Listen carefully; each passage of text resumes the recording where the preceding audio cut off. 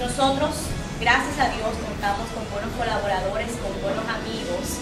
En el caso nuestro, como encargada de relaciones de esta fundación y también como parte de nuestro proyecto a última hora en compañía de mi compañero José Luis Peña Montero, hemos estado tocando puertas. Nos acercamos a nuestra gente de Blue Telecom para solicitarle unos abanicos para que ellos puedan aquí en el local realizar las manualidades, reuniones de forma cómoda, porque el calor que hace en este local es sofocante.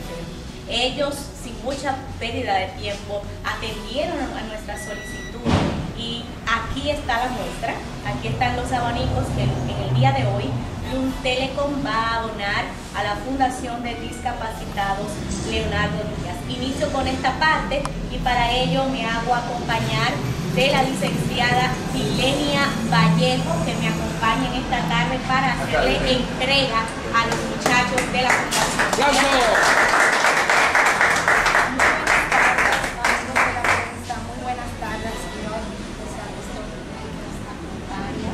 en esta noble causa, por decirlo eh, tal y como tú lo dijiste, en nombre de la familia Blue Telecom, nosotros hacemos entrega de estos abanicos, quizá para, para tapar algunas de las tantas faltas que tiene este centro de rehabilitación. Y de antemano le exhorto e invito a las demás instituciones gubernamentales y no gubernamentales a que se acerquen a hacer estos tipos de contribución. Bloom Telecom ya lleva tres años en el mercado altagraciano ofreciendo servicio de televisión por cable e internet. Hemos recibido un gran apoyo de la población altagraciana en la zona donde tenemos cobertura y esto es de, la, de lo que nosotros le devolvemos a la población y más cuando se trata de personas que quieren reintegrarse por decir a la sociedad que para ellos no hay limitaciones tener quizás una pierna amputada o tener una algo, algo que lo limite a muchas personas, para ello no. Y yo entiendo que haciendo estas contribuciones y otras más que podrían venir, nos sentimos satisfechos como empresa. Así es.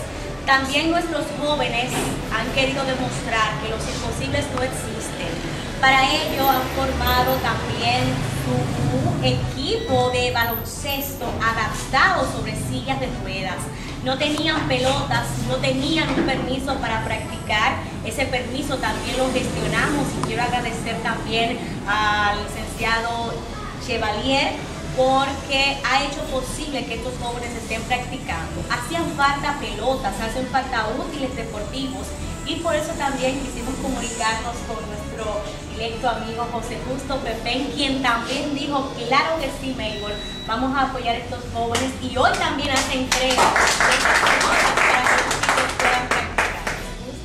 Y ante todo, primero agradecer a Dios que nos permite eh, estar aquí presente, aportando un granito de arena. Y como decía la licenciada, yo quiero también agradecer a Blue Telecom por este gesto, que son personas, esta fundación necesita. Y como usted decía, licenciada, a toda la población altagraciana, a las autoridades gubernamentales, municipales, que vengan en apoyo, no en auxilio, sino en apoyo de, estos muchachos que quieren, que quieren seguir insertándose en la vida productiva de nuestra provincia de la Alta Gracia.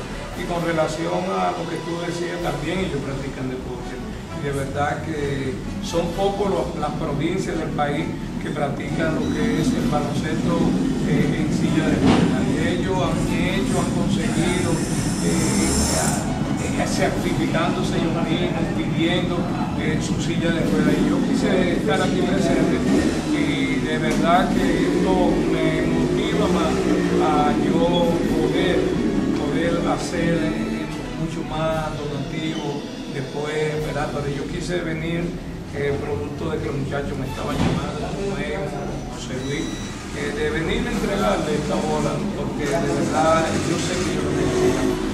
De verdad que me siento eh, muy emocionado, muy emocionado. Así es. Para José Luis y para mí realmente es emocionante estar aquí. Yo quiero escuchar a Francis, que es el coordinador de sé que está también muy emocionado. Él va a hablar en nombre de Leonardo Díaz, presidente de esta Muy buenas tardes, mi nombre es Goya Diego Mejor, mi nombre es Francisco del Rosario. Me siento muy emocionado porque para mí fue un, impacto ver todo, todo esto, ¿me entiendes? No me lo esperaba y estábamos siempre ahí dando, hablando conmigo y con el señor José Justo y a buena hora llegó todo, ¿me entiendes? Y queremos que las personas de, con discapacidad se integren. Vamos a, vamos a formar equipos en Higüey, vamos a representar a Higüey, eso se ve chulísimo, vamos a disfrutar lo que es baloncesto, adaptado sobre silla de ruedas jóvenes que tenemos todo compromiso, estamos aquí sacrificándolo y, sacar a las personas que tienen que ver, que están metidos en las drogas, porque hay personas que antes están metidos en las drogas, hay que sacarlo y eso vamos a valorarlo, señores, como, miren cómo está la droga, miren cómo están los barrios, la miseria, miren cómo está. Entonces vamos a sacar, vamos a hacer algo, señores, porque ¿qué, qué, nos llevamos cuando no morimos? Nada, miren, lo vamos, ya te sabes. Yo soy un ejemplo, tengo muchas personas que me han apoyado, nadie me ha podido señalar de que he salido del camino que mi pasado, porque me pasé por depresión, porque el suicidio viene de la depresión. Y de eso tengo un tema que estoy tratando con personas que ya tengo que entregar a la universidad. Por eso mismo, soy una persona que me he desarrollado, he pedido perdón si he fallado, porque uno pasa vergüenza en la calle cuando anda por ahí. ¿Me? Y yo tenía un problema de depresión que me quise matar varias veces, ¿me entiendes? Con cosas positivas, ¿me? Y hoy le voy a demostrar que Francis Brito de Rosario sí vale la pena y que sí todos valemos la pena hacerle un obsequio del bebedero. Ay,